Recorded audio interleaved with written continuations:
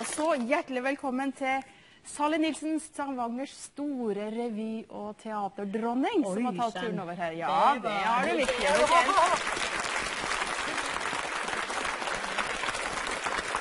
Utrolig populær i Stavanger og Rogaland, men vi har jo ikke sett så veldig mye til det kanskje Det utover var det sto i avis en gang at du er verdensberømt i Rogaland.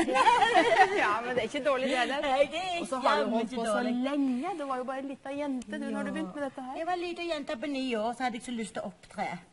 Og da var det um, filmteater, var det barneteaterkabareter som jeg fikk være med og synge med jeg hadde lyst. Og det var jeg med noen ganger. Og så var det barneteater fra jeg var elleve år. Og videre. I den tida fikk vi lov å være elever, vet du, eh, på eh, bedriftene. Og jeg ble elev på Rogaland Teater. Jeg tok altså teaterelev skole, heter det vel da i den tida der. Så i 69 så var jeg skuespiller. Ja, Så du har måttet være både bud og litt forskjellig, har du Og ikke det bud, underveis? ja. Da. Jeg har sprunget byen rundt etter pannekaker med flesk til Ruth ellers. Så gjester i kors eller i den. Ja da. Ja, du, fordi, på grunn av at eh, store deler av landet aldri har sett hva du har gjort, så har vi laget til en bitte liten kollasj over noen få ting som NRK Rogaland har tatt opp med deg. da.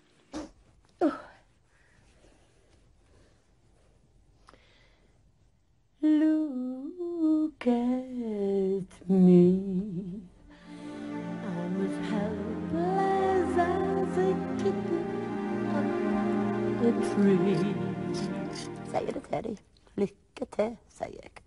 Jeg misunner dere ikke. Vår ungdom hadde jo aldri hørt et pip om denne klitorisen. Vi trodde bare det var inn og ut, inn og ut, og bøy og tøy og bøy og tøy. Så skulle stjernene blinke på den sorte nattehimmelen, og jorden skulle skjelve.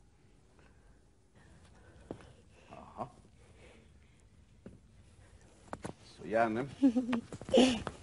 Nå ble fyren blid og glad. Da hadde jeg nok rett i det jeg sa i stad. Alle mine tanter slå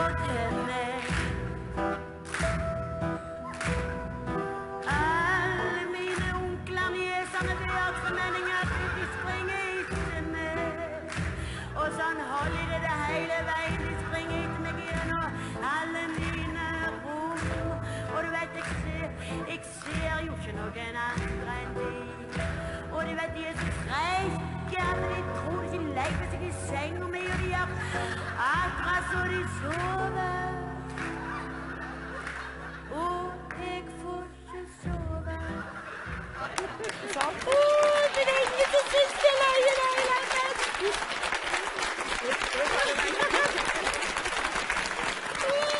Ja.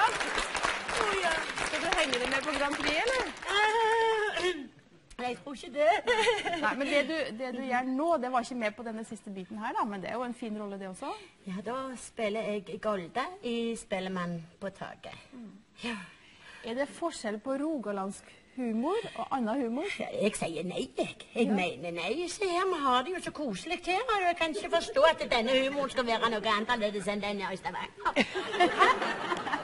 Kan dere forstå det? Men, du har, men det, er det er en ting som er forskjellig fra Stavanger og, og alle andre plasser som jeg vet om, og det er å kjøre buss. Oh, ja. Det er noe annet. Ja, den, det, den sangen som heter 'Skjønt å kjøre buss', ble jo veldig populær da Tor Inge Kristiansen sang den inn på plata.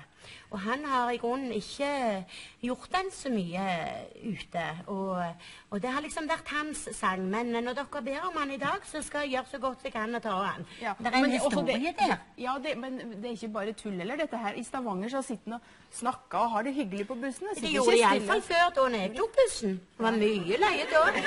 Nå bor jeg på landet, vet du, så kjører ikke så mye buss i Stavanger.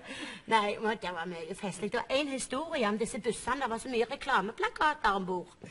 Eh, langs eh, kanten. Og så ungdommen i den fnisealderen, den farlige fnisealderen, vet du, så hjelper ikke hva du gjør. Så ler de av alt. Så kom der inn ei gravide kvinne. Stor var dagsventende og satte seg på uh, nærme de da. Så begynte de å fnise og le. Og hun flytta seg lenger og lenger bak i bussen, og enda mer lo de. Tredje gang hun satte seg ned, så klarte de nesten ikke sitte stilt på stolen. vet du, De holdt på å dette av. Og så måtte de se.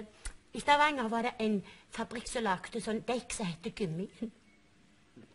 Og den hadde altså reklameplakat over det første CD. Bruk gummien, sto der på den. Og det neste han satte seg ned med, reklamen var Freia bakepulver hever best. Og tredje reklameplakaten, det var Brødrene Nei, arbeid er utført av brødrene Pettersen. Ja.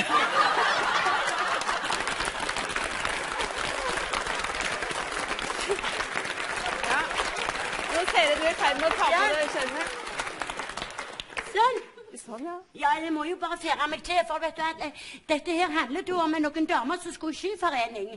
Og de liker så godt å sitte på bussen og takle sammen, måtte ha skjerf på hodet. For det at eh, de har permanent, vet du, så regner det så mye i Stavanger. Sånn, så, så det er ikke så greit da, vet du. Så blir de rystete på håret.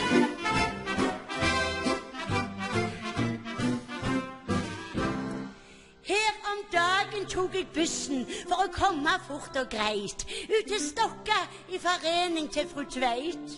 Jeg tok femmen ifra nylon. Jeg fikk sitte stol på det. Jeg får alltid plass hvor fuglebussen er. Vi kom til Nestrans gate og Gustava ramla på, hadde jeg så såpass at hun òg slapp å stå. Og da Hansine Jensen nær på Bergeland steg inn, hadde jeg rydda henne rommet baken min. Åh, åh, det skjønte kjærus, finnes ikke herligere skyss. Det koster litt, bak. Ja, vi skulle altså i forening ut til Stokka til fru Tveit. Jeg, Gustava og Hansine, det var greit. Og så satt vi der i femmen mens han kjørte ruta si. Tatle våre slapp vi nokså fort på glid. Folk de steg og noen gikk av med tre eneste ingenting. Ja, for vi har det sånn når vi først har kommet i sving. Egenes og Holbergs gate og Øvre Stokka nede med blei plasserte, men Gadunderen gjorde det. Vi var midt i ei oppskrift da Gustava kom til å si at hun synes bussen gikk en løyen vei. La han kjøre, sa jeg tålig. Jeg har vært på Stokka før. Jeg kan rute bedre enn en bussjåfør. Bussen kjørte, og han kjørte, og alt var koselig og godt. Vi fikk klarlagt at fru Nilsen skulle ha smått. Folk de steg, og noen gikk av turen vart, og han rakk. Vi betalte, og sjåføren han sa takk. Åh, åh, det er så skjønt å kjøre buss. Finnes ikke herligere skyss. Det koster litt, og humpe gjør det titt. Men det tar ingen kone bak så stritt.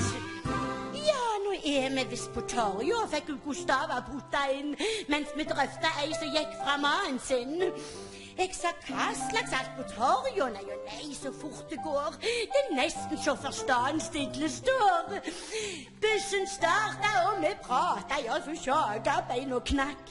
Vi slo fast at en vi kjente visstnok drakk. Folk de steig på, noen gikk av turen vart, og han rakk.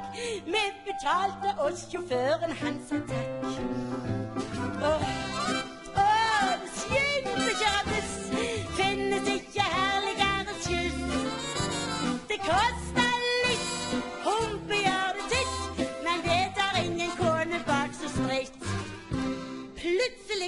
Sier jo han sine her Vi kom på galen buss. Der er Nordmannsgata, og hva er det for noe kluss?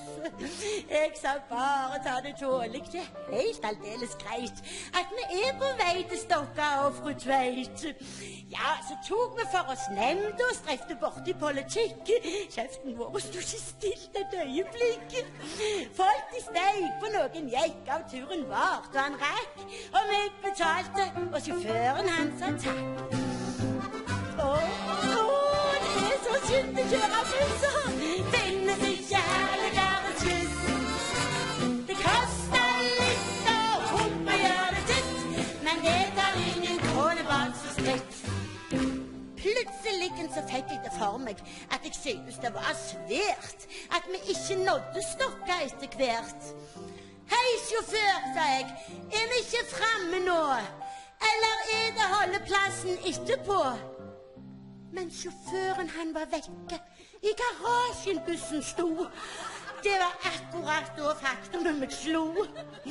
Ingen steig på med tre da slukhørte hjem i seng mens vi nynte dette her er